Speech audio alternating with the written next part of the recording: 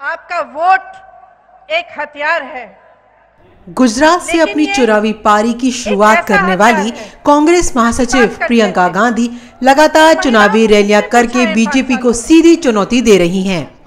इसी कड़ी में प्रियंका गांधी बुधवार से उत्तर प्रदेश के चुनावी दौरे पर हैं, जहाँ उन्होंने राहुल गांधी के संसदीय क्षेत्र अमेठी से अपना संपर्क अभियान शुरू किया था। लखनऊ, अमेठी और रायबरेली का दौरा करने के बाद आज प्रियंका गांधी अयोध्या पहुँच रही हैं। प्रियंका का अयोध्या दौरा राम मंदिर जैसे चर्चित चुनावी मुद्दे के कारण बेहद खास माना जा रहा है लेकिन इस पर सवाल भी उठ रहे हैं कि क्या शिव के बाद प्रियंका राम की शरण में पहुँच रही हैं? बहरहाल, प्रियंका का अयोध्या दौरा हो या प्रयागराज या फिर वाराणसी का दौरा, इन सभी को कांग्रेस के हिंदू विरोधी छवि सुधारने की कोशिश से जोड़कर देखा जा रहा है।